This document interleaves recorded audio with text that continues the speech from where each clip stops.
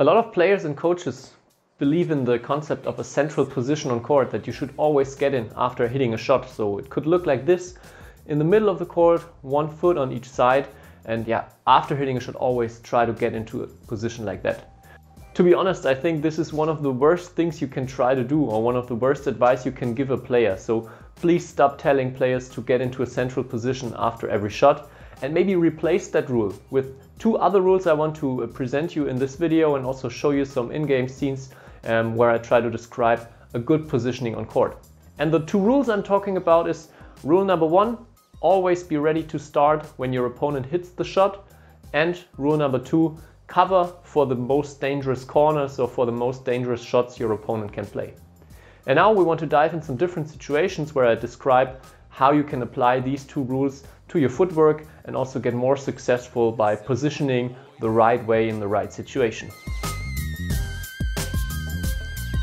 So I think the first rule is especially important for beginners as many of them try always to run back to the center and then they are not ready to start again when the opponent hits. So you always want to be in a position or be in a place where you can change the direction or push when the other one plays the shuttle. And also we will see that this does not actually mean that you have the chance to get to the center or that it makes sense to get there. But first of all, we want to dive into two different situations or want to um, differentiate between offense and defense because this makes a huge difference in terms of where and how to position on court. So by defense, I mean you're playing a high shot and the opponent has the option to attack. So we're going to look at a short rally or some different situations here. Now I play the lift and you can see this is maybe also something you could call a real central position like I was talking in the beginning, one foot on each side. And why do I stand like that? My opponent can play all four corners quite easily. I have to be ready for all of them. And I want to cover the most dangerous shot. You remember rule number two, the most dangerous shot in those situations is the smash. So I want to have a foot position parallel to the net so I can push very quickly to the right or to the left if the smash is coming. So here my opponent is not playing the smash, so I have to correct my foot position a little bit. You will see that now, and then I will play another clear, and once again, I go back to the center. This time I'm also orientating a little bit more on the left side. So you can see I'm not completely in the center of the court.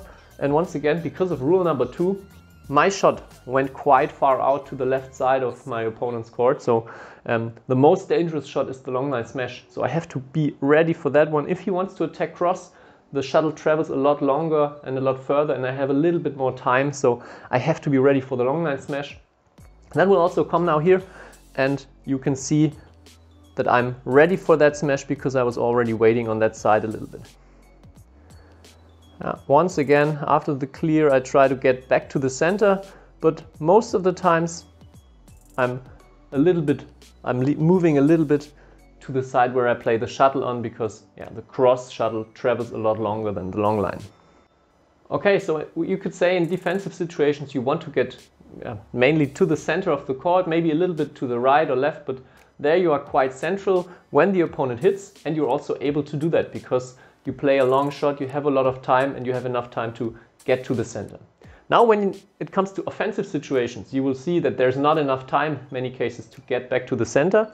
And also when you're playing down, you take away a few options for your opponent. So the most important thing that is different now, he cannot smash to the sides. So most of the times when you are in offense and you're playing down, you don't want to have that parallel position with your feet, but you want to turn the foot position a little bit. And already when you're doing a short serve, for example, we can see that right here in the beginning, you will uh, realize that I'm already turned with my foot position. I was covering for the left front court and for the right rear court. My opponent got me there and played to my backhand, but I knew he cannot smash to the side, so I could already try to guess a little bit and cover two corners with my foot position. And yeah, we will see what happens now. I'm uh, a little bit under pressure, but I still play with the backhand a shot that goes downwards. And you can see maybe also here I moved a little bit too much to the middle. I'm a little bit out of balance now and I made that maybe mistake of I would try to get too far back to the middle instead of just being ready when the opponent hits. So he plays again to that corner and I have to start from there. I still play down and then you can see I only can make one step and then the shuttle is already at my opponent. It's impossible to get all the way to the middle even if you are super fast and this was only a fast drop. Uh, in, a, in a second we will also see what happens after a smash. Uh, there you have so little time so do not try to rush back to the middle. So here I take one step out of the corner and this one here is also interesting in my eyes. You can see I played a really short net shot and my opponent is very low at the net and this takes away so many options for him. He only basically has two options now. He can play short to the net or he can play a really high lift. And you can also see my feet are completely turned now. So I'm not parallel anymore to the net, but completely the other way around. So I can push forward if he plays a short net shot back. This is the most dangerous shot here because it will be on my side in a very short time. So there I have to be ready and if he plays the lift, I can push backwards, but there I also have a lot of time. So maybe I could also wait a little bit closer to the net that I'm actually doing here. Um, yeah, but I have to only cover two things, a short net shot or a really high lift. And now we see the lift is coming. I'm going to the rear court and I'm going to attack. And now you can see my opponent hits the shuttle after my smash and I'm still standing in the corner. So yeah, no player is fast enough after a smash to get all the way to the middle or get into a what many coaches call a central position.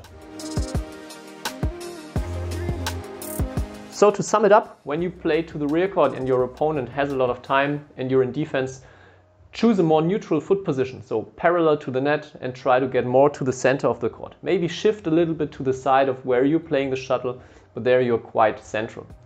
Completely opposite when you're playing down, when you're in offense, most of the times you will not be um, even able to get close to the middle, but you're also taking away a lot of options for your opponent. So turn your foot position, one foot in front, one in the back, and you can say the more offensive you are, the more you are turned towards the net. Be ready for the most dangerous shots from your opponent. And by most dangerous in defense, I basically mean the smash. In offense, I mainly mean the shot that is most likely to come, like I was just explaining with the short net shot. There you have to be ready because it travels only a very short period of time, so you have to be ready at the net. There are also situations, for example, when you have your opponent under pressure in the rear court and you know he cannot play a backhand clear from a certain situation. It also makes sense to push forward, so stay at the net. Don't get back to the middle of the court if you already know that there will be no cross clear from the backhand. So especially on a lower level, this will never happen try to choose your position according to what your opponent actually can play so you can sometimes also kill off the shuttle in those situations right away and be more offensive minded in terms of positioning.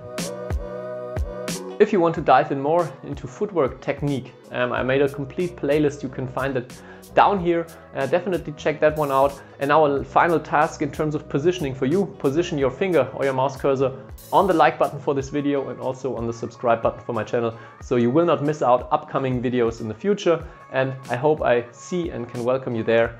Bye bye.